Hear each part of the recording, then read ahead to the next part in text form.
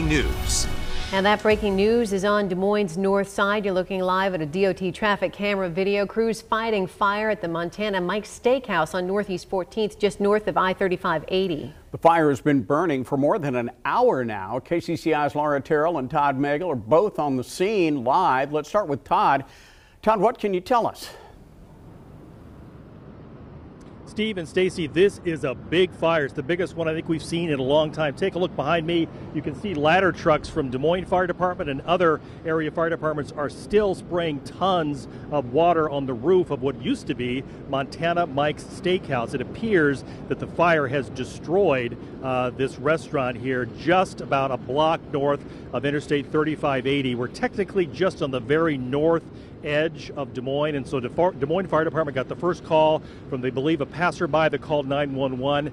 The uh, Polk County dispatchers called Des Moines uh, Fire. They arrived soon. They sent uh, their crews in to the restaurant at first, thinking maybe they could contain this fire. They thought they'd be okay. Then they started to probe the roof just above the ceiling inside the restaurant. It was completely engulfed in flames. So they turned around immediately, got out of the restaurant, uh, said they could not stay inside. It was too uh, unsafe. That's when they called in all the ladder trucks. And as you can see, there's ladder trucks from Des Moines. I believe maybe uh, Ankeny is here, Johnston is here, uh, several, about five different fire departments are on the scene here.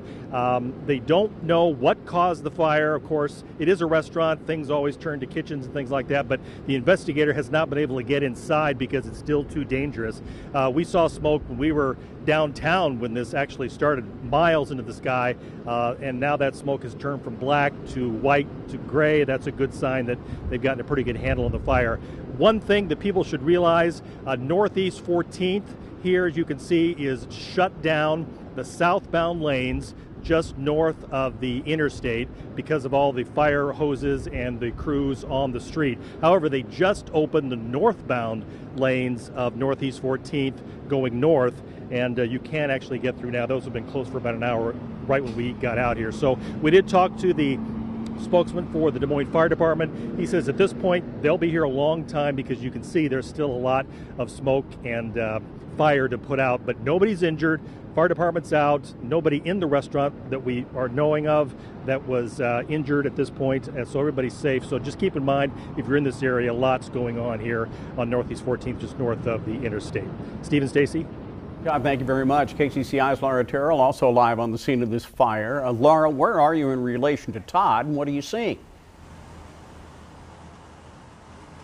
Steve, we are on the completely other side of Northeast 14th, on the other side of the restaurant. As Todd, you can see behind me, firefighters are focused now on putting out hot spots. They said that that's the stage that they're at right now. Obviously, the big flames are gone. The massive cloud of smoke that we saw when we first got here around 4 o'clock is now gone, but the focus is on hot spots. The good news, obviously, as Todd said, everyone got out. Everyone's okay. Initial reports were that there were some people inside and everyone is okay. We talked with uh, firefighters here just about two minutes before we went on, and Lieutenant Thomas told us he was trying to find the people that were inside that got out safely so he could talk to them and get some information from them. He was working on that. We also talked to the restaurant owner's sister off camera. Uh, as you can imagine, the family is very emotional. Um, they were kind of in shock as they were standing here watching the building burn. Uh, we saw some tears, we saw some hugs. They obviously were not up for doing an interview, but were gracious and talked with us and said that this is just devastating to them. So no idea of a cause just yet. Firefighters say it's way too early to figure out exactly what caused this uh, but they will be on the scene for a very long time. And as Todd mentioned, uh, the biggest fire we've seen in quite a while. Several departments. We saw Taylor, Saylor Township, we saw Ankeny, Altoona, Des Moines. Lots of agencies here fighting this fire. So we will continue to monitor it and bring you the latest updates as they become available. But for now, reporting live in Des Moines, Laura Terrell, KCCI 8 News, Iowa's news leader. You to both Laura and Todd. Here's one last live look from a traffic cam up in the area. This is a traffic cam at I-3580 and uh, Northeast 14th. As you can see, steam now rising from the scene, but earlier this afternoon, billowing black smoke and lots of flames.